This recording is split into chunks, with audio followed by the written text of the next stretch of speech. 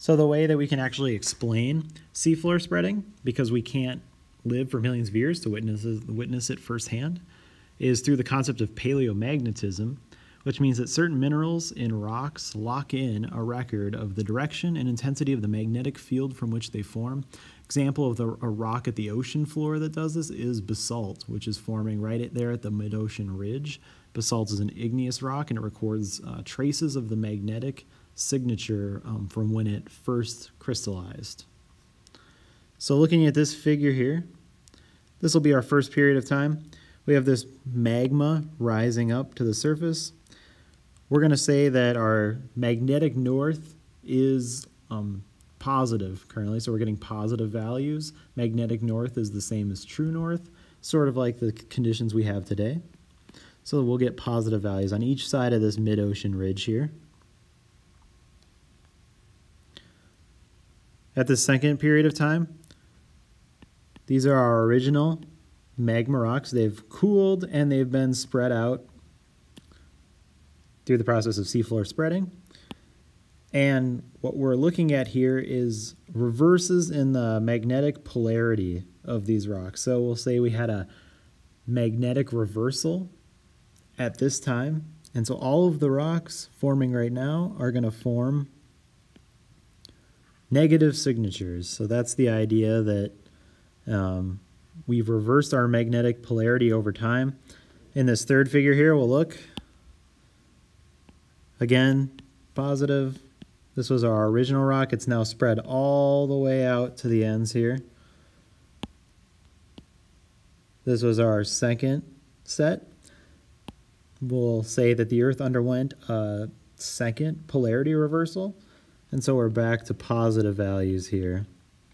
So if you go from left to right, positive, negative, positive, positive, negative, positive. So those are our magnetic values. So that's just recorded in the rocks at a given time as the seafloor is spreading. So we can actually go down and take samples of rocks in different areas and see that they have different magnetic signatures in the ocean floor. All right, so for this lab, we're gonna need this big metal pan full of sand. I'll explain more about that in just a second. Half meter stick, an iPad, and our LabQuest device. And our LabQuest device is to be hooked up to magnetic field probe. I can go ahead and just put it at the 0.3 setting so you don't forget. Um, so 0.3 setting right away, we're going to use our magnetic field probe for the procedure of this lab.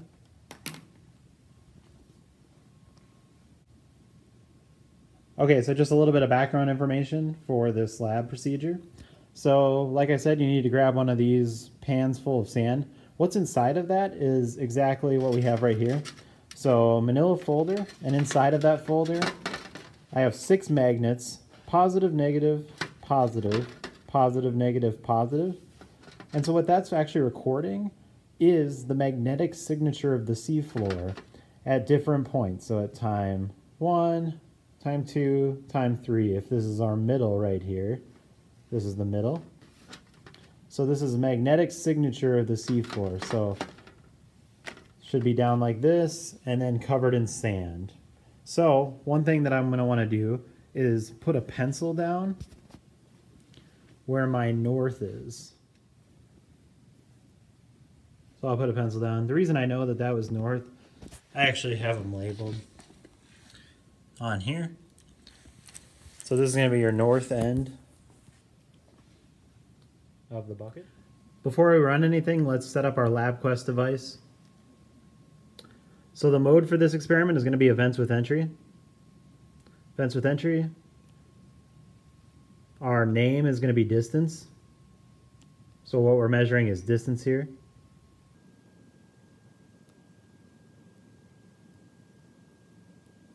And the unit for that is going to be in centimeters.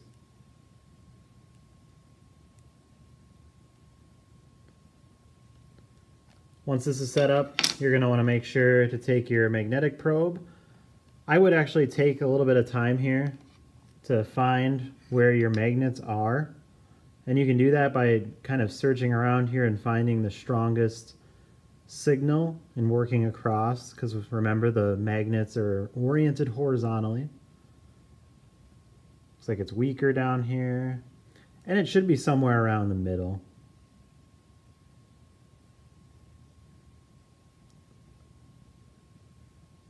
Looks about right right here. When you find that, make sure to zero out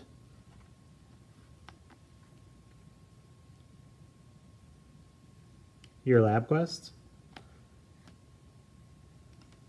And then the final thing you're going to want to do once you kind of have an idea of the area, you're going to want to put down a meter stick.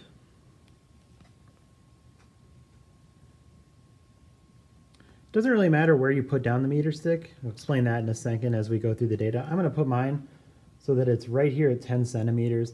Looks like it goes to 34 centimeters. So the only thing that's going to change for each person, how you do it, you could have it down at zero here and go across, but it's kind of hard to hold up. So I'm going to put it at 10. And you just need to make sure that if you're at 10, you're measuring 10, 11, 12, 13, 14, 15, not 0, 1, 2, 3, 4. So that'll make more sense in just a second here. So it looks like I'm ready to run the experiment. Again, make sure you know kind of where the magnets are oriented horizontally. So I place my meter stick just a little bit above where my magnets are, where I was getting the strongest magnetic readings. Once you're ready and you've got your LabQuest set up, I'm just going to hit play. And I'm going to start here at 10. It's going to give me a magnetic field reading. I'll hit keep. And again, make sure your distance is wherever you're at on the meter stick. So I'm at 10 centimeters. You know, if you were if you started at zero over here, that's obviously going to be different, but I'm at 10 centimeters. I'll move it over here to 11. And we're going to keep one point for every centimeter as we go all the way across. So it looks like I'm going to have about 24 or 25 points. And that should be the same for you. So next one, 11 centimeters. Move a little bit over. Look at 12.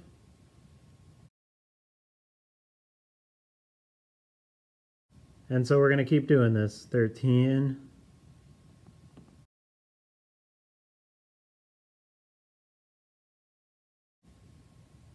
Fourteen. And so on. So you're going to do this all the way until you get to the other side. So it looks like I'll probably be ending over here at 34. Okay, so I ran my 24 points, 24, 25 points. It ended up looking something like this. So your data should look somewhat similar. I'm going to connect this to graphical analysis on my iPad right away.